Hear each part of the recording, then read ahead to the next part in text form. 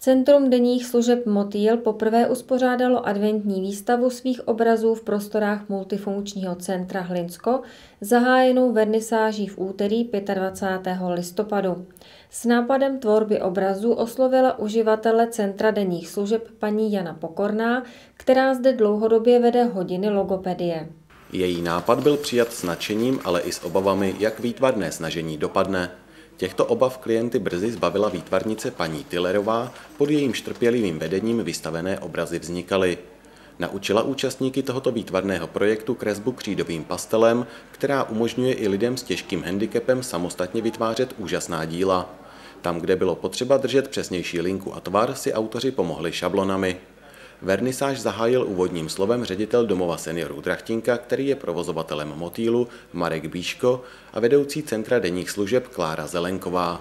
Dovolte mi, abych vás srdečně přivítal na dnešním slavnostním zahájení výstavy obrazů, které vytvořili klienti Centra denních služeb Motýl.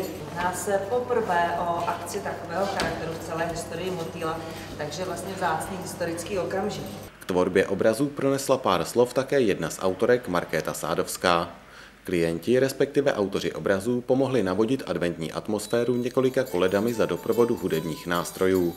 Náladu ještě umocnili prskavky mezi přítomnými hosty. Pak už si všichni mohli v klidu prohlédnout obrazy a během připraveného pohoštění přemýšlet, která díla se jim nejvíce líbila.